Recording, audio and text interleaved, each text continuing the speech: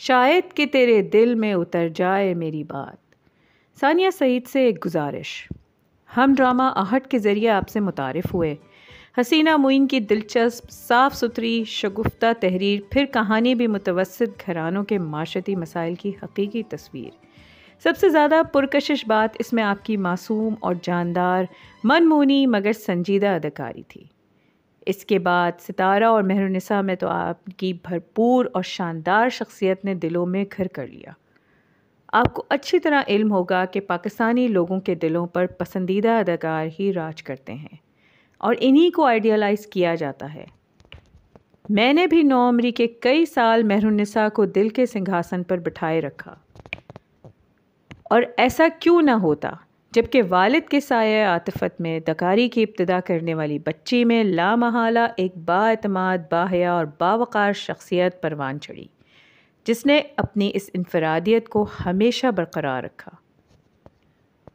फिर कितनी गिरें बाकी हैं के बाद आपके बेशुमार ड्रामे शौक़ और पसंदीदगी के इंतहाओं के साथ देखे गए।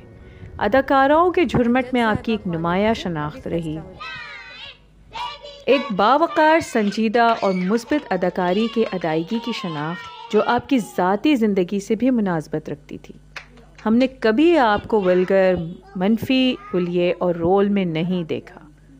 आपने बारहा अपने इंटरव्यूज़ में अपने संजीदा ख्याल का इजहार किया और मुनफरद और मुस्बत रोल्स की अहमियत बयान की।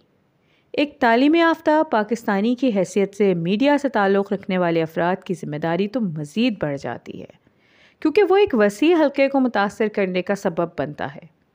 साल साल आपकी पसंदीदगी के इस पस मंज़र में, जॉयलैंड की कास्ट में आपकी शमूलियत मेरे लिए सख्त हैरत का बायस है। मुल्क अज़ीज़ में इतने बड़े बड़े अवार्ड्स और अवामी मकबूलीत के हसूल के बाद इस सतह की मनफी बल्कि गैर अखलाक़ी मौजू पर बनने वाली मुतनाज़ फ़िल्म में आपकी शिरकत नाकबिल फ़हम, नाकबिल यकीन और नाकबिल कबूल है। काश आपने इस फ़िल्म के अगराज मकासद और नतज पर गौर किया होता। या कम अज़ कम अब इस फ़िल्म को मिलने वाले कोयर पाम अवार्ड की हकीकत पर गौर कर लें।